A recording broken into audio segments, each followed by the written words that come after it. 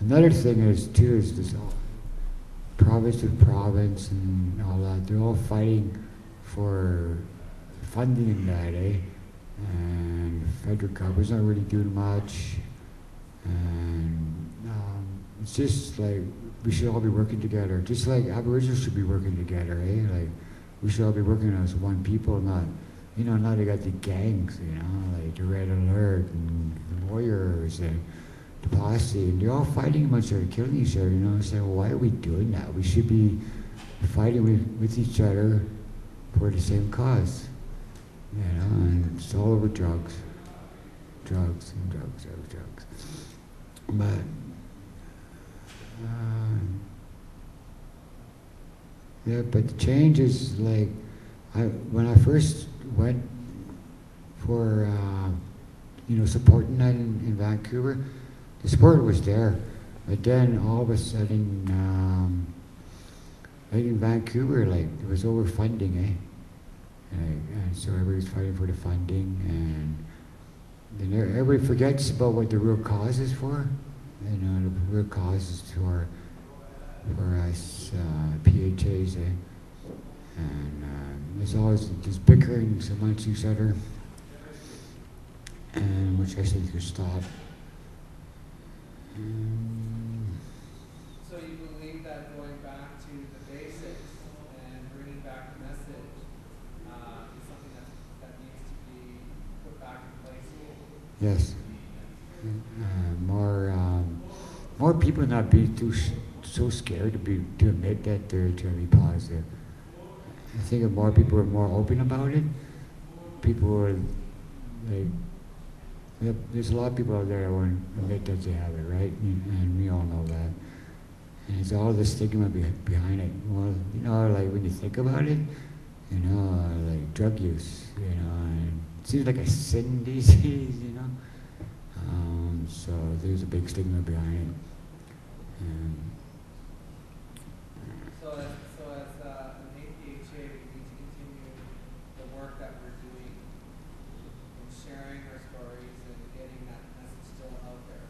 Yeah, get, get all those stories out there, and don't be shy to admit that you're uh, HIV. I tell, like I, like I said, I tell everybody. And I meet people, and I tell them, I say, "Oh, I'm HIV positive." I remember one time, I met this one girl in Vancouver, and I, I was just, I was getting along with her, and then I told her the truth, and she says, "Yeah, I'm positive," and then. Uh, she says, oh, really? She says, I like a guy that's positive. It's got a really positive attitude. I said, no, no, no, no. I, I mean, I'm positive. And he said, oh. but uh, yeah, you should have said, yeah, it was a, one of those situations that you have to be at that was really funny. And, and the she says, oh, I like when a guy is so positive, he talks about being positive, you know. And, no, no, no, get a positive.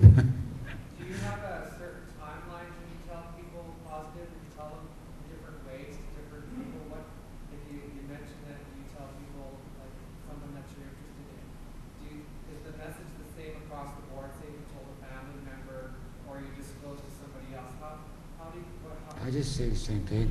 I always just say I'm HIV positive. And, uh, and then trying to look at your reaction. I, the ones I hate say, oh, you poor guy. I, I, that's the ones I hate because, uh, oh, there's going to be a cure. you know, uh, you know. I, those are the ones I hate. Eh? But the ones I like are, oh, you know, you'll live long, you know. That's what I always get my nephews, you know, they oh, don't worry about it, you're to live long. And is true. Like I hear I made, I made 50 years old. I was 35 when I got it. You know, so like, I probably could have had a nice job by now, but you know, like, I, I kept thinking that because I'm, uh, I'm uh, HIV positive, I only have like maybe a couple more months left to live. And uh, I'm still thinking, am I, am I still going to make it to the Olympics? Yeah.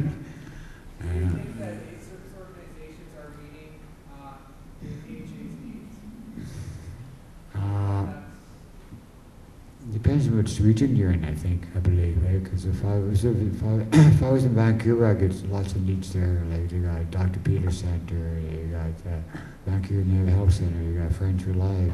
You got so many things in Vancouver. You go to Edmonton, there's nothing. You got one organization, eh? And that's it. And they don't really do much there. Like World AIDS Day, I, I didn't celebrate World AIDS Day. Like, what am I celebrating? You know, like, you know, like, um, Do you, do you think that the difference in services between places like Vancouver and Edmonton is not, what is that a result of? Um, I think it's because I mean, Alberta is a redneck country, and BC is more liberal, and like, um, and there's more. I don't know. That's a good question. There's more. There's way more funding in Vancouver. I'd love to go back to Vancouver and live there, eh? Because I had free housing. I had I had free housing for the rest of my life. I gave it all up to come back to. Uh, I mean, uh, like my had bus passes there for you know for fifty dollars for the whole year. I got a bus pass, and um,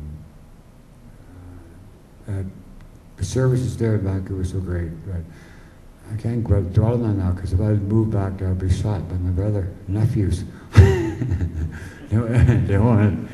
They won't allow me to go back to uh, BC. So.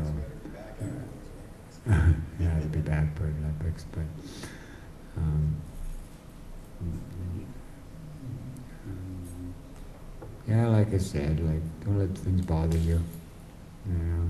I don't like things bother me.